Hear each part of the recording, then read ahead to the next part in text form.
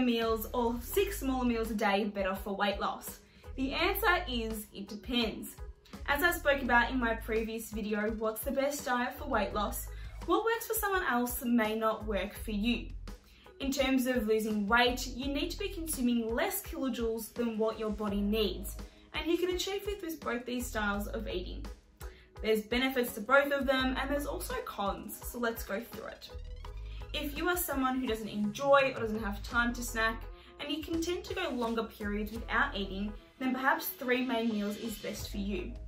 However, when it does come up to that next main meal, you will likely be quite hungry, and it's really hard to control your portion sizes when you're in that state of hunger.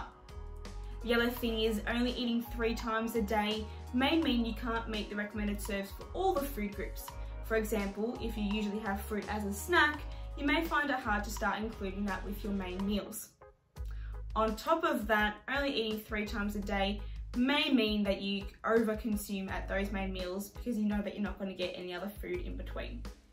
However, if you are someone who tends to graze and you like to eat often, then perhaps six smaller meals a day is best for you. However, in this style of eating, you will need to reduce your portions across the day, and that might be a little bit difficult to get used to. On top of that, snack foods tend not to be the healthiest, like sugary muesli bars or processed foods like flavoured milks or even popcorn or chips. So you need to be ensuring that you are choosing healthy options. This can all be quite confusing and if you don't know which style would work best for you, then get in contact with one of our accredited practicing dietitians and we'll be sure to help you out.